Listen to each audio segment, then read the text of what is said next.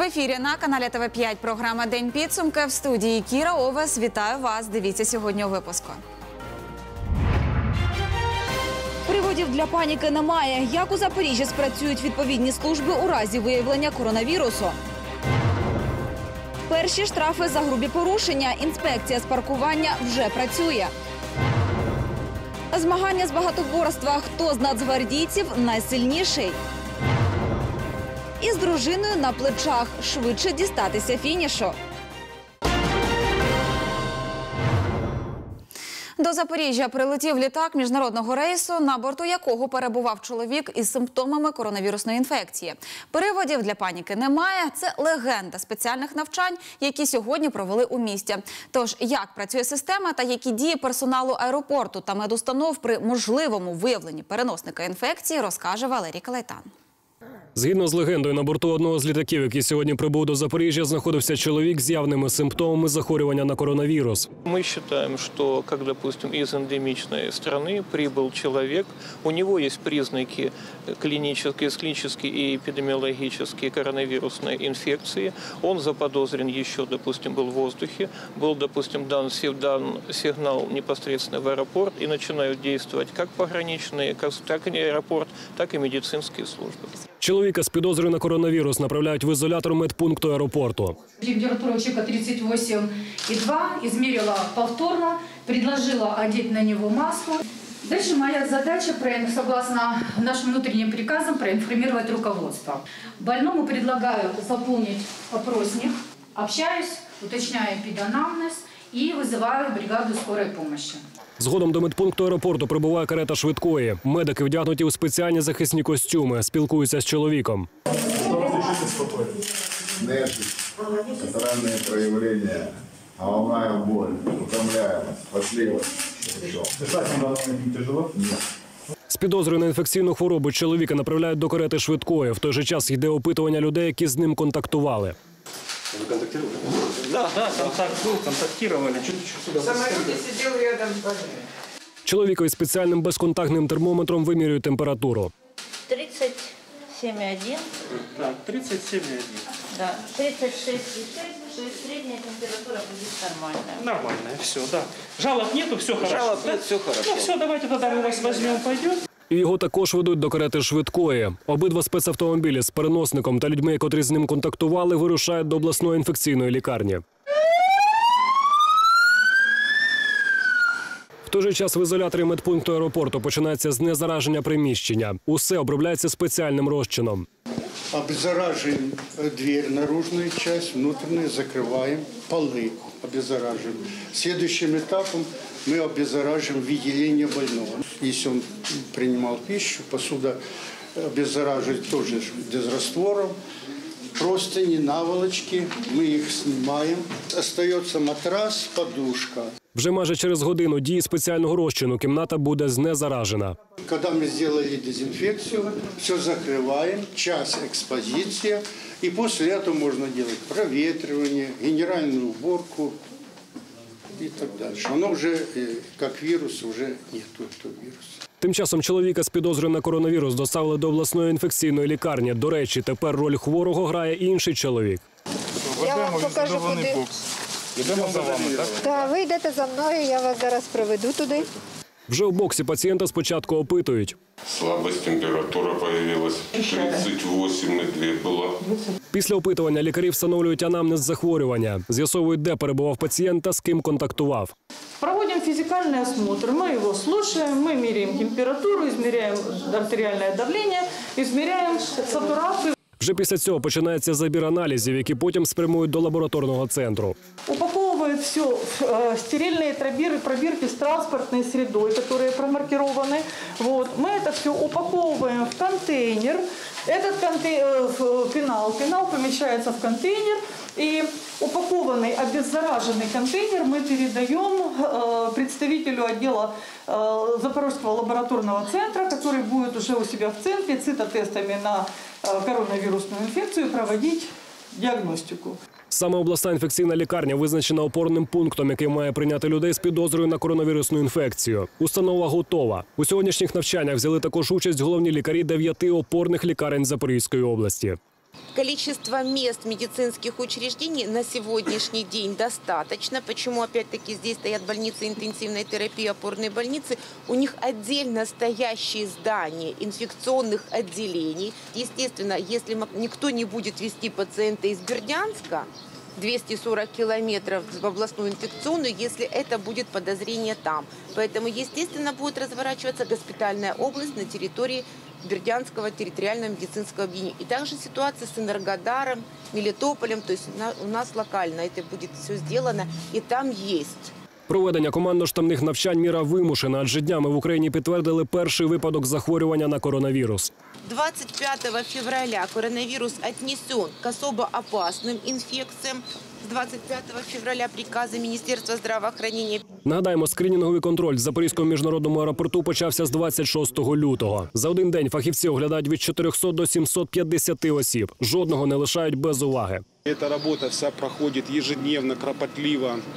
Может быть, не всем она нравится. Все уже читали, наверное, отзывы э, в соцсетях о беспрецедентных, как их называют, мерах безопасности. Но э, с точки зрения специалистов они оправданы. На сегодняшний день вводить такие жесткие меры, как в Китае, необходимости нет на территории Запорожской области. И Украины. И Украины, да. Но, тем не менее, контроль должен быть. Валерій Клетан, Олександр Гоц, ТВ 5 Продовжується реконструкція скверу піонерів в Олександрівському районі Запоріжжя. Знаходиться він біля центрального ринку і багато років жодної уваги йому не приділяли. Саме тому було вирішено зробити капітальну реконструкцію об'єкта. Збережуть і скульптурну композицію дружби народів. Подробиці у моїх колег. Реконструкцію скверу піонерів почали у грудні минулого року. Наразі виконані вже майже всі підземні роботи. На сегодняшний день выполнены все работы по демонтажу, э, по подготовке, по вывозу мусора. Больше 500 тонн мусора вывезено, демонтированы все подпорные стенки. У сквері облаштують плиткою нові алеї, газони, збудують трубопровід для поливу. Також відновлять освітлення та встановлять лавки. З боку трамвайних колій будуть зроблені паркувальні кишені та велостоянка. Проектом передбачено і масштабне озеленення скверу. Кусты, деревья. То есть мы доба- добавим порядка 70 кустов и деревьев, чтобы сквер выглядел уже зеленым, нормальным, как, как положено. Точки полива мы э, немного э, перенесли, со- согласовали, увеличили для того, чтобы ну, была возможность полива и сохранения всех зеленых насаждений. Під час проведення земляних робіт були знайдені залишки торговельних рядів часів старого Олександрівська. Володимиру Буряку показують документи, що підтверджують існування тут точки продажу, збудованої ще у 1910 році. Имею честь покорно просить, да? Да, Сейчас так пишут, не? Сейчас Вам. нет, нам нет. И мне не Да. пишут. Нам ну, только требуется. Підприємець дозвіл отримав не одразу. Втім, з часом свого домігся і відкрив торговельну лавку. Тепер ця частина скверу, як історична пам'ятка, буде відкрита для відвідувачів. Я думаю, це все буде зроблено в такому вигляді. Е, Скажімо, залишені будуть ці сходини до підвального приміщення цих рядів, які колись були, а зверху, мабуть, накриємо, як кажуть, таким стеклом прозорим для того, щоб це було один із таких історичних пам'яток і туристичних пам'яток у цьому сквері. До реконструкції вирішили підійти комплексно, тому місцева влада провела переговори з власниками кіосків на зупинці. Комплекси будуть замінені, нові відповідатимуть коду міста. Так само зміни чекають і цей будинок, який зараз майже повністю завішаний рекламою. Вот это вот все привести в нормальный вид и все, почистить, покрасить, и освежить, и все станет нормально. Убрать вот эту срань, извините, по-другому не надо. Каждый пишет, что хочет. Наразі триває реконструкція колишнього фонтану дружби народів. Це родзинка скверу, і його зовнішній вигляд буде збережено. Скульптура буде повністю відтворена в тому вигляді, яка вона була там зроблена ще в 53-му році. От, і буде зроблена така по всьому діаметру цієї клумби, будемо так казати, цієї споруди буде зроблено красивий газон для цвітів. Я думаю, теж буде дуже добре. Крім скверу піонерів, реконструкції проводяться у багатьох зонах відпочинку. Продовжують роботи в сквері ювілейному в Хортицькому районі, парку Гагаріна, Комунарський район та в сквері 30-річчя перемоги в Заводському районі, а також у сквері Бочарова в Шевченківському районі та на правобережному пляжі. Дар'я Купліченко, Сергій Чалий, ТВ 5 За правилами дорожнього руху у Запоріжжі запрацювала інспекція з паркування. Сьогодні її співробітники вийшли на профілактичний рейд. Штраф виписували лише за грубі порушення. В інших випадках обходилися попередженням. За першим робочим днем інспекторів з паркування спостерігав Денис Кузнецов. Зранку на проспекті Металургів інспектори з паркування проводять перший профілактичний рейд. Сьогодні головна мета нагадати порушникам про правила паркування та сповістити про початок роботи інспекції. Для того, щоб водій знав, що він порушує правила дорожнього руху, і те, що наша служба вже запрацювала і реагує на подібні правопорушення у сфері дорожнього руху. Щоб наступного разу він знав, що це вже буде постанова або повідомлення про притягнення до адміністративної відповідальності. Сьогодні свою роботу офіційно розпочали три інспектори. До цього пройшли необхідне навчання. Навчалися ми, як працювати з технікою, з планшетами, принтером, е, дальноміром для визначення е, відстані для вимірювання, як транспортні засоби стоять. Е, Робота по винесенню по базі, встановлення власників і саме процедуру розгляду справи за відповідні правопорушення. Проте тим, хто вчинив грубе порушення правил, штраф виписували вже сьогодні. Першим, на кого інспекція склала протокол, став власник цього авто. Він не дотримався 10-метрової відстані від пішохідного переходу. Це правопорушення передбачене статтею 122 частиною 3. Це грубе порушення чи ні? Так, це грубе порушення правил дорожнього руху, що створює безпеку дорож... е, небезпеку дорожнього руху. За це відповідальність передбачена 510 гривень штрафу. Директор департаменту правового забезпечення Запорізької міськради зазначив, основне завдання інспекції убезпечити жителів та гостей міста. Найголовніша мета в тому, що вони ем, створюють умови для безпеки мешканців міста та самих водіїв. Якщо паркувати машину де завгодно, то наслідки можуть бути непередбачені. Наразі порушення поділяють на дві категорії за ступенем важкості. Від цього залежить і сума штрафу. Е, Якщо це у нас е, порушення правил там, в зоні дії знаку зупинка заборонена або стоянка заборонена, то там штраф 255 гривень. Якщо це більш тяжке порушення, яке становить суспільну небезпеку, е, то це вже 510 гривень. До кінця тижня інспекція працюватиме у профілактичному режимі. Проте вже з вівторка власників авто, що припарковані з порушенням правил, штрафувати будуть одразу. Денис Кузнецов, Ігор Бахіркін, ТВ 5 Запоріжжя стало одним із перших міст України, де запрацювала система «Є-малятко». Вона суттєво спрощує батькам процес оформлення документів для новонародженої дитини. І подати необхідні заяви можна одразу в пологовому будинку. Дар'я Купліченко розповість докладніше.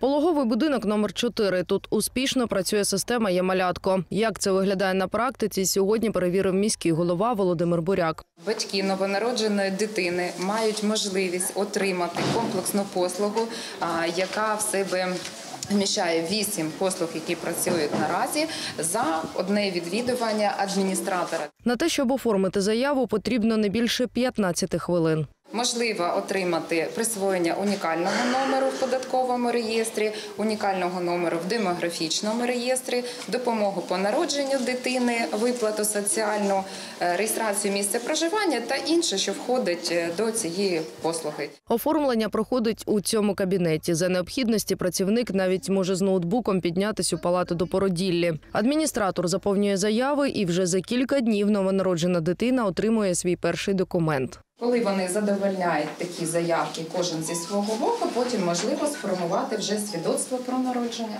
І воно видається тут. Так, воно видається за місцем подання заяви, видається це свідоцтво. У цьому пологовому будинку кілька матузів вже скористались послугами системи «Є-малятко». Сьогодні вони отримали свідоцтво про народження дитини. Вітаю вас. Дякую. Да, прийміть, будь ласка, свідоцтво. Удобно це, Мгм. виходячи з розпологового будинка з дитиною вже з готовими документами. І скільки ми тут морей жили? Бо коли 15 жили. Скажіть, Ні? Бистро, дуже швидко все. Да? Що, зайшли отако і все. Да, тільки подали всі документи, е, поставили підпис і вже.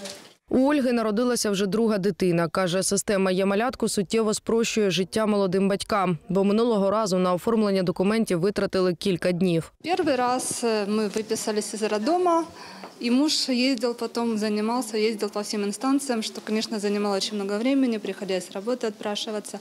Э, Здесь, в роддоме, мы вот буквально вчера, наверное, я узнала об этой системе, которая запускается.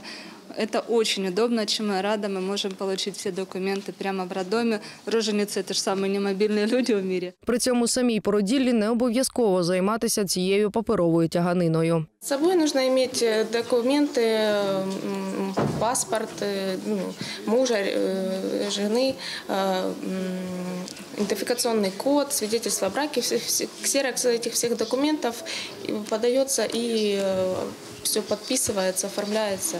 Достаточно одного из родителей. Нету никаких ограничений. Либо мама, либо папа, кто-то один из родителей. Батьки могли у системі «Є-малятко» оформити заяву і на отримання соціальних виплат, але для цього необхідно було заздалегідь оформити картку у банку. Цього заявниці не знали. Тому я сьогодні дав таке доручення перед тим, як ми сюди зайшли, для того, щоб, ну, мабуть, в жіночих консультаціях перед тим, як е, жінка знаходиться там на консультаціях, щоб вже була інформація про те, що перед тим, як кажуть, попасти вже перед в пологовий будинок, да, потрібно буде, як кажуть, е, зробити таку відкрити таку в якомусь із відділенів банків карточку для того, щоб можна було потім на цю карточку отримати ті пільги, які, ну, як кажуть, для мами держава нас передбачені державою. Послуга «Є-малятко» надається в пологових будинках. Згодом буде доступна і у центрах надання адміністративних послуг, що працюють у Запоріжжі. Дар'я Копліченко, Сергій Чалий,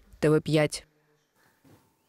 Покращити якість обстеження. Рентген-кабінет із сучасним цифровим апаратом та свіжим ремонтом незабаром запрацює у Запорізькій міській лікарні екстреної та швидкої медичної допомоги. Рентгенологічне відділення оновили коштом міського бюджету. Тепер тут зможуть робити високоточні знімки усього за кілька секунд. У цьому переконалась і наша Луїза Шубіна. 80 тисяч рентгенограм на рік з навантаженням у 12 тисяч обстежень на один рентгенапарат. У такому щільному ритмі працює рентгенологічне відділення Запорізької міської лікарні екстреної та швидкої медичної допомоги. Аби підвищити продуктивність обладнання, сюди придбали новий цифровий рентген італійського виробництва. Теперь не обязательно распечатывать на пленке, да? То есть в многих случаях достаточно будет цифрового изображения. Ціна нового рентгена – 5 мільйонів гривень. Апарат виключає будь-які помилки через людський фактор. Знімки можна додатково масштабувати на комп'ютері, що підвищує точність діагностики. Снимки мы можем видеть уже буквально через несколько секунд после проведенного исследования и оценивать э, это качество изображения, что немаловажно, э, потому что это уменьшит количество диагностических ошибок. И, безусловно, это снижение лучевой нагрузки на пациента, что немаловажно для здоровья пациента. Обстеження на новому апараті зможуть проходити щонайменше 150 пацієнтів на день. Это позволит нам э, в определенной степени разгрузить нагрузку на наш томограф, который, честно говоря, нагрузка колоссальная. Ну понятно, для больницы одного, одного маловато. За останні кілька років для запорізьких медзакладів придбано більше 10 цифрових рентгенапаратів, каже заступник міського голови Анатолій Пустоваров. Нещодавно новий рентген встановили у поліклінічному відділенні на вулиці Брюлова, а до кінця літа, схоже, з'явиться і у дитячій поліклініці на вулиці Жаботинського. Це не якісь новітні технології, це треба робити було ще там 10-20 років. За дорученням міського голови ми це от четвертий рік робимо, десь там 13-14 рентгенів плюс пересувні рентгени ми змінюємо, тому що це базова така діагностика у всіх лікарнях повинна бути. До цього тут працював рентгенапарат, якому більш ніж 20 років. Він вже і морально, і матеріально встарів, тому не відповідав. І тому ми закупили за міською програмою саме сучасний цифровий рентген і зробили ремонт приміщення. Зараз новий рентген випробовують у тестовому режимі, а вже за тиждень він запрацює наповну. Луїза Шубіна, Андрій Снісаренко, ТВ5. Телевізійна кухня ТВ5. Фінал проекту Нова я та легенди боксу. Про це та інше далі у нашому випуску. Свій куток мати нове життя для маленької родини. Зірка, що здійснює бажання, як народжуються казки. Ціна перемоги зламана рука. Баскетболісти Металурга здолали Маріуполь. Закинув на спину і побіг. Змагання із коханими. Вже п'яту кімнату за рік для родин, які опинились у скрутних життєвих обставинах, безкоштовно виділила міська влада. Волонтери ж допомогли її облаштувати, зробили ремонт та купили необхідні меблі. Це має стати гарним стартом для нового життя 25-річної запоріжанки Юлії та її маленької донечки Карини. Більше розповість Ірина Дєдушева. 25-річна Юля разом зі своєю маленькою донечкою Кариною заходять у своє нове житло. Оглядають кімнату у гуртожитку на вулиці Гончара. А тут будуть наші фотографії, да? Карина? Будем вешать? На стенку, да? У вісім років Юля залишилась сиротою. Виросла в інтернаті, потім жила з батьком своєї дитини на зйомних квартирах. Більше року тому чоловіка депортували з України, тож дівчата залишились самі. Прихистили їх у центрі підтримки дітей та сімей Затишна домівка. Меня приняли, сказали, что я могу пожить, и, ну, тем временем, пока буду жить, и свои проблемы. У затишній домівці Юля з Кариною прожили 9 місяців. Тепер же вони отримали кімнату у гуртожитку. Я не скажу, что я рада, я просто счастлива, честно говоря. Тут эмоций у меня очень много. Я еще до сих пор как-то не свыклась с этой мыслью. Мне кажется, что все это как сказка какая-то. Кімната була занедбаною, тож з ремонтом та меблями допомогли волонтери. А, Благодаря поддержке людей а, вся мебель, вот сегодня еще приедет холодильник, а, ролеты на окна. Все, что тут есть, это только благодаря помощи людей. Цель э, не помочь э, полностью решить все ее э, проблемы, а мы хотим видеть э, то, как будет меняться ее жизнь. Э, У Юли стоят э, цели, которым, я уверена, она придет и ей хочется помогать. Здесь выполнены все демонтажные работы, электромонтажные работы, ну и все отделочные работы, которые вы видите. Это все сделано за кошти будівельної компанії. Це вже п'ята кімната, яку отримали запорізькі родини після проживання у затишній домівці. Таких родин, таких дівчат у нас в затишній домівці багато ще. Тому, якщо хтось з волонтерів захоче допомогти якійсь родині, то будь ласка, нехай завітають до нас в гості, послухають історію родини, дівчини з дітьми, і можливо в когось появиться бажання допомогти. Завдяки існуванню центру соціальної підтримки півсотні дітей не були вилучені з родин. Є така проблема і насильства в родині, і коли жінка залишається без житла на сьогодні.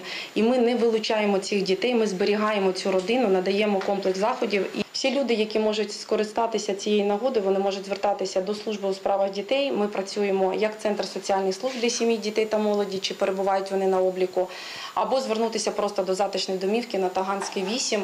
Ще жодна мама у нас не було не було відмовлено від того, що вона залишилась саме без житла. Що стосується Юлії, то вона вже влаштувала Карину до дитячого садочка, а сама активно шукає роботу. Я знаю, что есть у нас ботанический сад в Запорожье. Мне кажется, что флористика мне бы очень подошла. Будем дальше украшать, будем дальше продвигаться как-то. Ну, то есть и это и по новой мебели, и техника. В общем, я буду уже обстраивать ее как, как для себя. Мне ж тут все-таки жить уже долго. Ірина Єдушева, Віталій Подолян, ТВ5. Міський проєкт Нова я завершився. Протягом кількох тижнів представниці прекрасної статі брали участь у численних майстер-класах. А також разом зі стилістами працювали над зміною зовнішнього вигляду та іміджу. Емоціями від перевтілення красуні поділились із Анастасією Остапенко. Тендітні, але сильні. Ці 20 красунь – учасниці міського проєкту «Нова я». Кілька тижнів вони старанно працювали над собою та своїми вміннями. Навчалися готувати нові страви, пізнавали ази йоги, вчилися змінювати гардероб. Очень, конечно, рада была и неожиданно очень, потому что я очень ждала каких-то перемен вот, в своей жизни э, в лучшую сторону. Э, Это дает толчок мне м, двигаться вперед, не стоять на месте. Фінальним етапом стало зовнішнє перевтілення. День, проведений у салоні краси, дав змогу стати впевненішою у собі, зізнаються учасниці проєкту. Змінам радіють і рідні. Дети вообще в восторге были, конечно, когда они, они до сих пор не могут поверить, что мама хоть ку- куда-то, где-то, наконец-то я, ну, я очень хотела просто как перезагрузиться. Втім, найголовніше у проєкті матусі змогли відволіктись від буденних турбот та нарешті знайти час для себе. Раніше как-то вот больше поглыбся тому, что э, дом все-таки, дітки, ну, сейчас, после этого проекта, как-то больше стал все-таки, что нужно и себе время уделять, да, и на то, и на то. То есть можно вы найти время, и поэтому будем как-то так совмещать. Нові знайомства стали додатковим приємним бонусом від проекту. Я очень рада, что все-таки приняла участие в этом проекте. Здесь очень много прекрасных мамочек, с которыми подружились, с которыми э, общаемся. Я думаю, будем общаться. Уваги та турботи жінки заслуговують не лише на свята, впевнений заступник міського голови Анатолій Пустоваров. А такі проекти допомагають впевнитись у цьому ще раз. Дуже приємно, що вони змогли в рамках конкурсу е, змінити свій е, звичний темп життя, тому що дуже багато з них багатодітних, жінки героїні, учасниці АТО. Тобто це жінки, які роблять дуже велику кількість справ, і найголовніше це будують і підтримують е, сім'ю. Тому сьогодні ми їм віддячили таким великим конкурсом. Анастасія Остапенко, Олег Мовчанюк, ТВ 5 По інший бік екрану телевізійна кухня ТВ5 сьогодні відкрилася для маленьких глядачів. Екскурсію каналом провели до всесвітнього дня дитячого телебачення і радіомовлення. Учні трьох запорізьких шкіл отримали нагоду подивитися, як створюються новини, як облаштована наша студія. А хтось навіть спробував себе у ролі ведучого.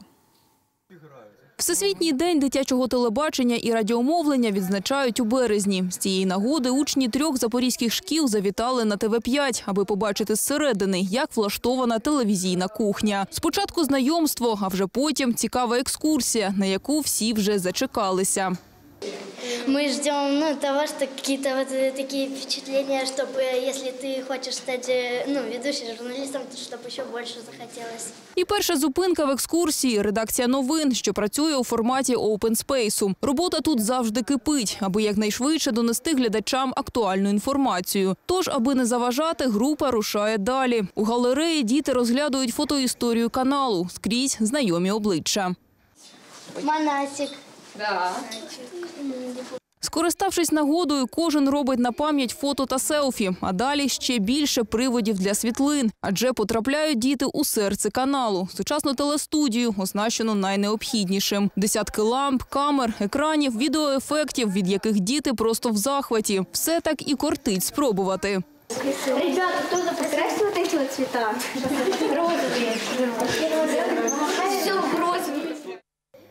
Поки хтось грається зі світлом, інші пробують себе у ролі ведучих. Ми поринемо у чудовий світ тропіків і незабутніх вражень. Перш ніж почати, пропоную вам надіти панаму, сонцезахисні окуляри і взяти пляшечку води.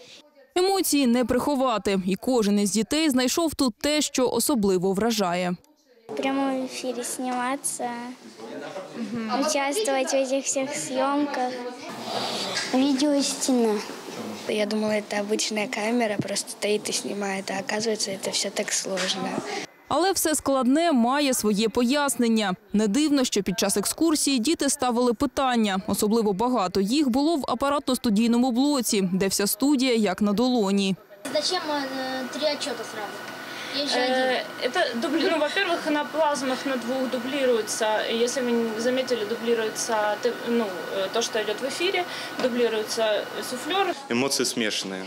Ну, хочется все посмотреть, очень интересно. М, В принципе, я был готов к тому, что ну, вот, зеленый фон тоже хромакей, это уже ознакомленный, поскольку тоже участвовали в съемках видеороликов, поскольку мы заняли тоже призовое место в экологическом видео, и мы тоже использовали зеленый фон у нас был. Серед учнів є дійсно ті, хто мав досвід створення відеороликів. Це переможці та призери конкурсу учнівських відеоробіт, організованого зеленим центром Метинвест Запоріжжя. Для них така екскурсія ще один крок на шляху до мрії. Вони просто в захваті, захваті від того, що ну, вони а, дійсно думали, що в телефоні можна все. І мені здається, де вони думали, що навіть е, ТВ5 знімають десь на телефоні і все монтують. А коли вони побачили, скільки камери, ну вони до сих пір в шоці. І ця можливість дати а, інтерв'ю, поговорити для них дуже важлива. Я думаю, що вони більшість із них точно а, прийдуть сюди потім працювати.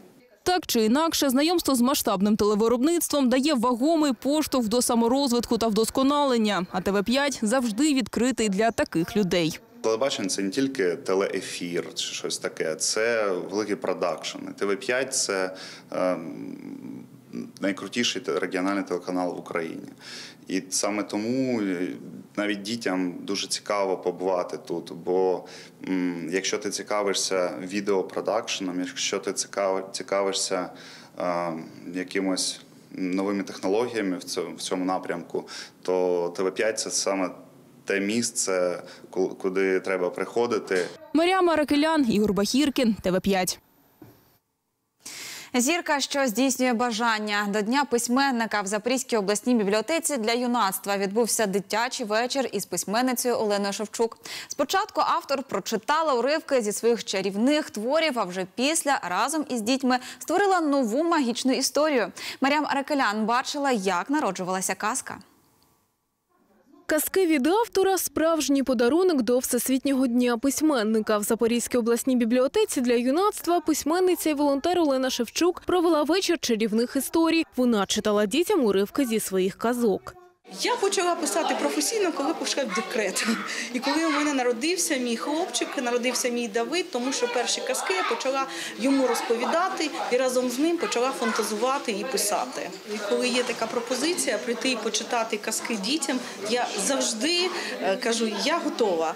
Да. Ну і сьогодні день письменника, і мені дуже приємно, що мене називають вже письменницею. Е, Я маю можливість поділитися своїми казковими думками, е, своєю казковою фантазією е, е, з малими. Серед охочих послухати маленькі запоріжці, для яких казка – то окремий омріяний світ.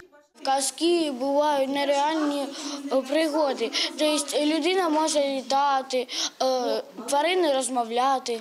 Дев'ятирічний Денис не тільки полюбляє казкові історії, а й сам хотів би вигадати пригодницький сюжет. Супергерої, хлопчики.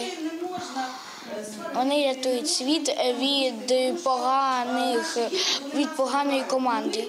І така нагода у дітей теж є. Олена Шевчук запропонувала всім разом продовжити її казку про зірки, які можуть виконувати будь-які бажання. Що потрібно було для того, щоб зірка виконала це бажання? Скажіть, будь ласка, що потрібно було зробити? Загадати. А як його загадати? Вголосно загадати чи про себе так? Про себе? А як ця зірка почує, що ти загадав бажання? Тож діти один за одним озвучували свої мрії. Комусь кортить мати суперздібності, хтось хоче новий телефон і від гори діамантів не відмовиться. Ці та інші побажання діти також ілюстрували на папері. Це ну, цікаво діткам спробувати себе е, в ролі майстрів слова, е, висловити якісь свої е, фантазії, бажання, проілюструвати це все. Ну, ми вважали, що це буде ем, досить такий цікавий захід для дітей саме такого віку. Найменший серед дітей трирічний роман. Для дитини такий формат дещо незвичний, але корисний, упевнена його мати. Он еще не очень вовлекается в этот процесс, ему интереснее там э, поиграть на площадке, поиграть с игрушками. Но э, мы решили для себя, что для его развития необходимо посещать такие мероприятия, дабы э, его привлекать э, к книгам, Марія Марекелян, Ігор Бахіркін, ТВ5. Свято весни і жіночності у Запорізькому музичному училищі імені Платона Майбороди для запоріжанок підготували творчий подарунок. Напередодні 8 березня студенти та викладачі зіграли для жінок класику. На концерт запросили ветеранів, військових, чорнобильців та афганців. Это двойной праздник, это и начало весны, прекрасная погода. И, конечно, мы хотим поздравить женщин, которые сегодня будут. Это и наши гости, и девушки, и женщины нашего училища. Будет звучать популярная классическая музыка, оригинальные произведения. Я думаю, что все и исполнители, и слушатели сегодня получат громадное удовольствие.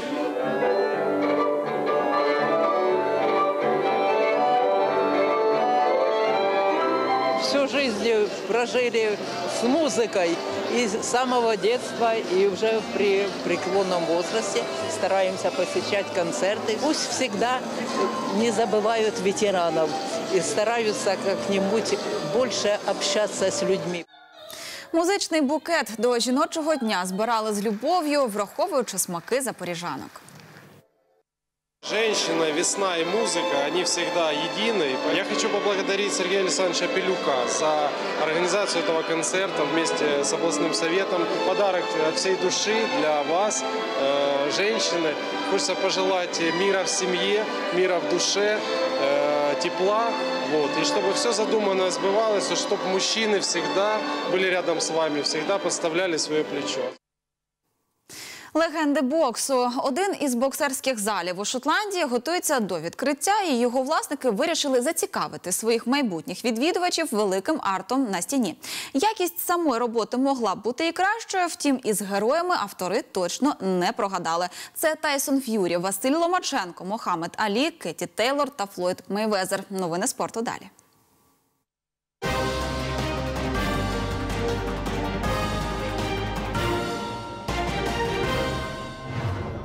Збірна України дізналася суперників у лізі націй на груповому етапі елітного дивізіону А. Команда Андрія Шевченка зіграє з Німеччиною, Іспанією та Швейцарією. Усі матчі наша збірна проведе з вересня по листопад 2020 року. У розширеному списку міст, які будуть приймати домашні ігри, є Запоріжжя. Перший матч збірної вдома зі швейцарцями 3 вересня, потім виїзд до Іспанії. Інші домашні поєдинки 10 і 13 жовтня.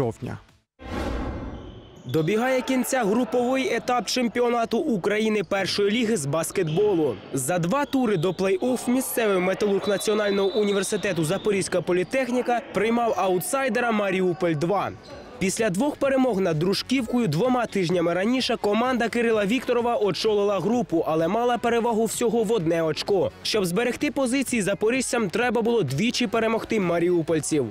Стартова чверть залишилася за господарями. В першу чергу завдяки повному домінуванні під щитами та триочковим Рустама Рагімова і Данила Соколенка. Недооцінки маріупольців точно не було. Тож 27-15 за перші 10 хвилин гри вже робили шанси на перемогу металургівців більш вагомими. Друга чверть могла стати переломною для гостей. У одній із атак Максим Ледньов впав і довго не міг піднятися. Продовжити гру баскетболіст не зміг. Пізніше виявилося, що в нього перелом лівої руки. Это основной игрок ротации, первый человек, который уходил с лавочки. Ну, игрок основного состава, который сейчас будет игры плей-офф. Я думаю, мы в групповой этап доиграем, как-то справимся, но в плей-оффе будет очень тяжело без него. Э, Теперь ляжет, э, скажем так, его игровое время на молодежь, которая еще сыровата. И в защите не так, как он играет, и в нападении нет такого стабильного броска. Поэтому, как оно будет, мы посмотрим, но ничего хорошего от этого команде не не будет. Максим Ледньов підсилив металургівців під час літнього міжсезоння. Протягом року десятий номер із гравця, який більшість часу сидить на лаві запасних, переріс в основного, котрий може надійно зіграти і в захисті, і в нападі. Парень ответственно тренируется, не пропускает тренировки. Я сказал, если будет тренироваться, будет выглядеть сильнее других, будет играть. Сегодня удачно сыграл. Это, наверное, его первая игра. Мы играли там три предсезонные игры. Он не мог нащупать себя. Сегодня достаточно успешно выходил. Втрата колеги по команді дещо збила атакувальний настрій господарів. Цим і намагалися скористатися гості. Втім, їм не вистачало ротації. На велику перерву команди пішли з рахунком 64-36. Мы играли ради него и за него, как поддержать его, чтобы он увидел, что мы не сдались. Завдання Кирила Вікторова було не дати розслабитися своїм хлопцям, тому Керманич постійно підбадьорював баскетболістів. Політехніка дещо збила темп гри і припускалася помилок. Програна боротьба за підбирання коштувала запоріжцям майже нічийного результату у третій чверті 22-20. Поначалу могли быть как-то немного расстроены, не собраны, но в принципе игру заканчивать. Пропустили в третьей четверти очень много очков, по-моему, 22.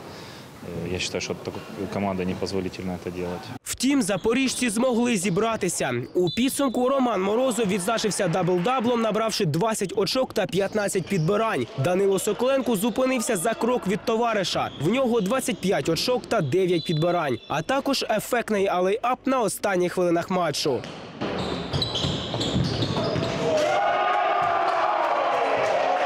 Найкращим бомбардиром поєдинку став Данило Соколенко. Він настріляв 39 очок. Кінцевий рахунок матчу 111-72 на користь металурга. Після гри вся команда поїхала підбадьорити Максима Ледньова, що вже перебував у травматології. Наступного ігрового дня запоріжці взяли гору з результатом 113-71. Заключний груповий тур політехніка зіграє 7 та 8 березня на цій же арені. Команда Кирила Вікторова прийматиме БК Краматорськ, що нині замикає трійку лідерів у групі. Микола Замарайло, ТВ5.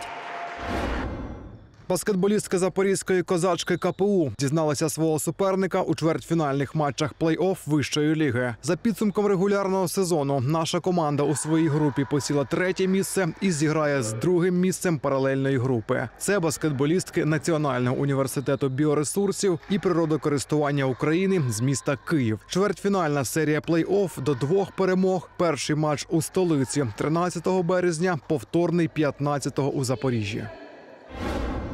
Сильний ти, сильна гвардія, сильна Україна. Саме під таким гаслом у Бердянську провели спортивні змагання з багатоборства серед бійців Національної гвардії України, які несуть службу в Запорізькій області. Змагання проходили в одному з фітнес-центрів міста. Тут є всі необхідні спортивні знаряддя, щоб перевірити силу та витривалість нацгвардійців. Проводиться на базі 3-го патрульного батальйону в місті Бердян змагання на першій частини з багатоборства. Е, Це є вид е, в спартакіаді річної нашої частини, один із видів, в якому відбираються військовослужбовці до збірної частини для участі в першості південного оперативно-територіального об'єднання. В день проводиться перший вид змагань комплексно-силовий, е, де військовослужбовці виконують вправи на силових тренажерах і показують свою стійкість, витривалість та силу. У змаганнях взяли участь представники усіх підрозділів військової частини 3033 Національної гвардії України в Запорізькій області. Це підрозділи Бердянська, Мелітополя, Енергодара та Запоріжжя. Військовослужбовцям необхідно було виконати 9 завдань на силу, швидкість і витривалість за певний проміжок часу. Незважаючи на те, що більшість з них уперше брали участь в таких змаганнях, випробування витримали гідно. Выступили отлично, замечаний нету, все на уровне. Произошло. Не- Все красавцы, всем респект. Такое. Все понравилось. Змагання бійців Національної гвардії судила бригада досвідчених спортсменів. Серед них і Лада Козубська, яка два роки тому брала участь у зимовому етапі гонки нації. Це багатокілометровий забіг з перешкодами. Незважаючи на свій спортивний досвід, дівчина не приховує хвилювання. У біографії Лади це її перше офіційне суддівство. Это мой первый опыт. Я всегда была на другой стороне. Я всегда участвовала. И поэтому мне было очень интересно, конечно, поучаствовать с другой стороны, посудить. Тоже волнительно очень, как участвовать, так и судить. Переживаешь за всех. Конечно, все молодцы сегодня. Переможці вже через місяць захищатимуть спортивну честь військової частини 3033 у фіналі змагань південного об'єднання Національної гвардії України, який відбудеться у Херсоні. Ігор Стрельцов, Євген Дахновський, Бердянськ, ТВ5.